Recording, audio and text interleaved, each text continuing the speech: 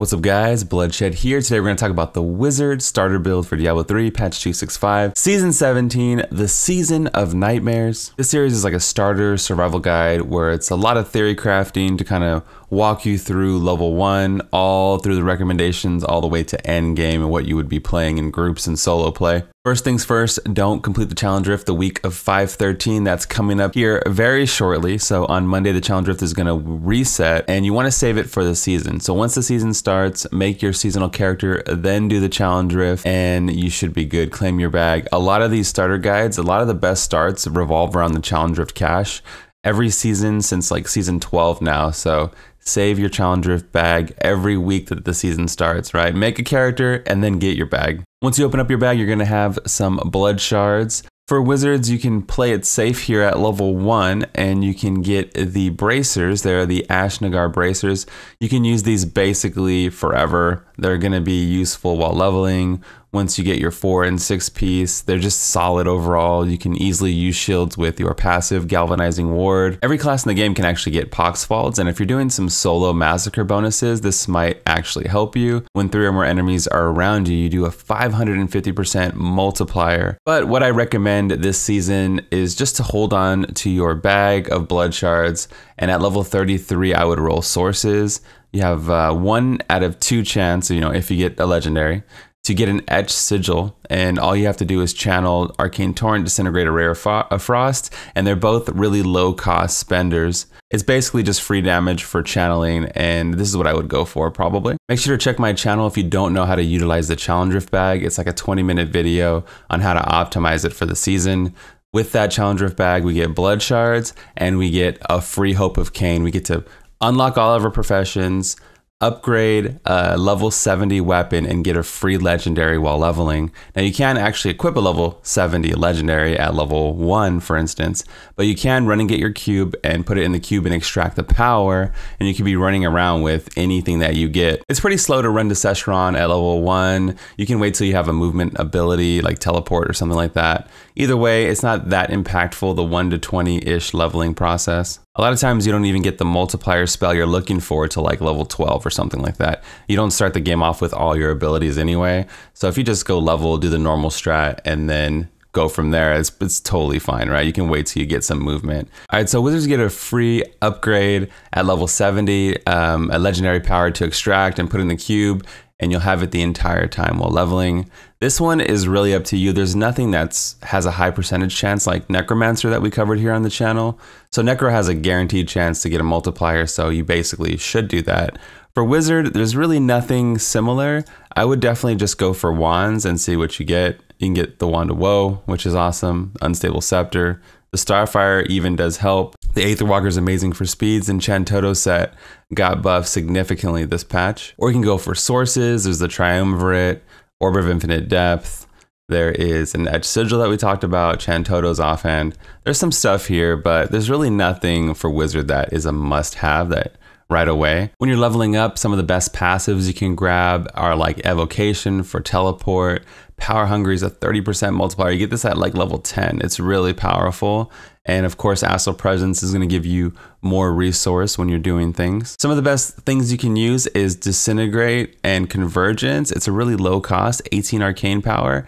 And I would probably use Ray of Frost, Cold Blood until I get Convergence Disintegrate. It's just really good. It pierces, so it kind of covers like a huge beam of the map does tons of damage and I would go for that. So you hit 70, you get your four piece bonus and you go through the season journey and all that stuff. Um, what does the Firebird set do? The two piece basically gives you a cheat death and brings you back to life. And the four piece, dealing fire damage with one of your skills causes the enemy to take a thousand weapon damage as fire for three seconds.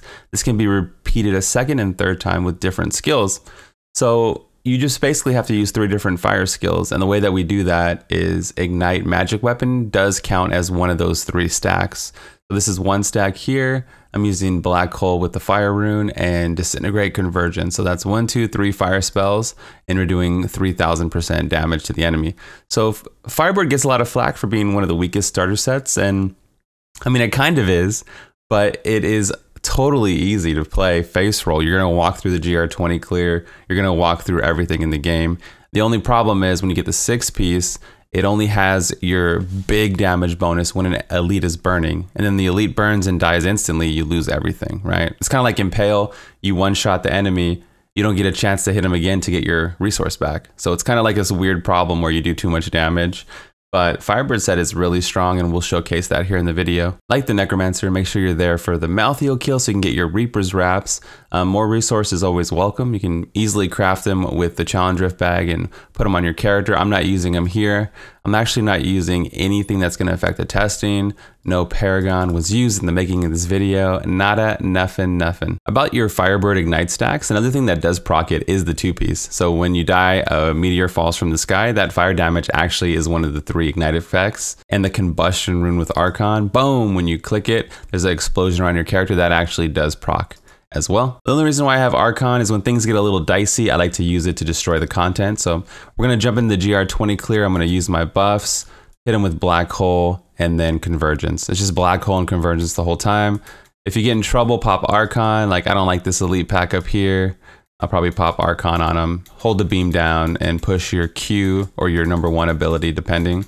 When you go into Archon form, you have tons of armor and um, it's basically almost like a defensive cooldown is how I use it. This again, we got I think we got Boggets with the Necromancer also.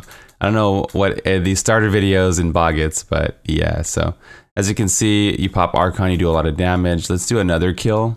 That way, all this whole video is not just like Archon highlight video or something like that. Let's look for another elite. But you can see even the density gets destroyed.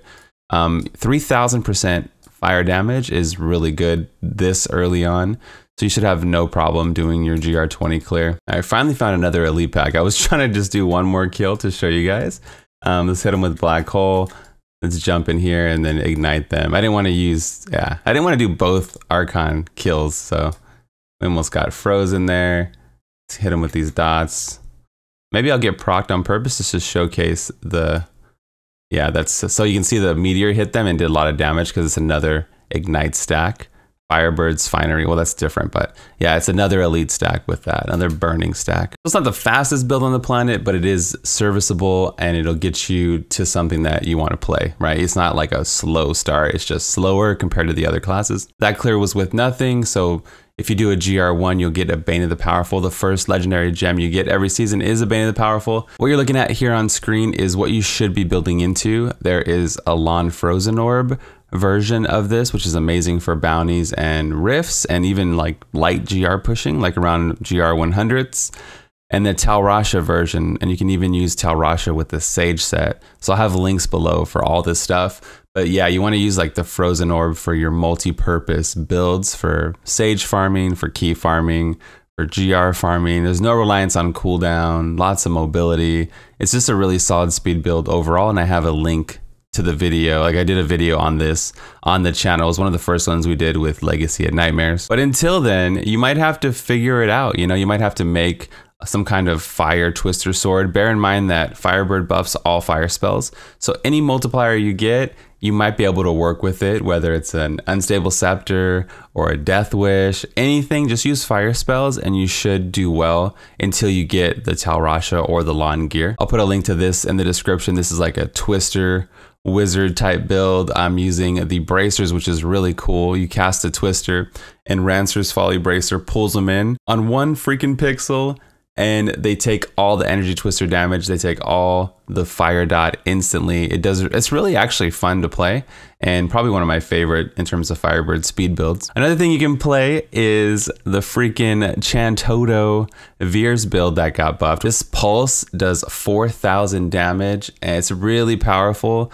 And it's kind of opposite of Frozen Orb, where you put cooldown everywhere, but you have like this, you're in God mode, right? You're in a cosmic being of energy, and you're just porting around, killing everything. So it's also really powerful.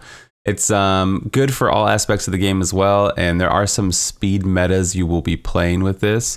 If I have if I have time, I'm gonna do a video on this build on the channel, but I'll definitely put a link in the description for everybody if you want to see what the push build looks like, and then you can just use that for literally every aspect of the game, like I was saying. You can also push with LoN Meteor Shower, extremely tanky build to play.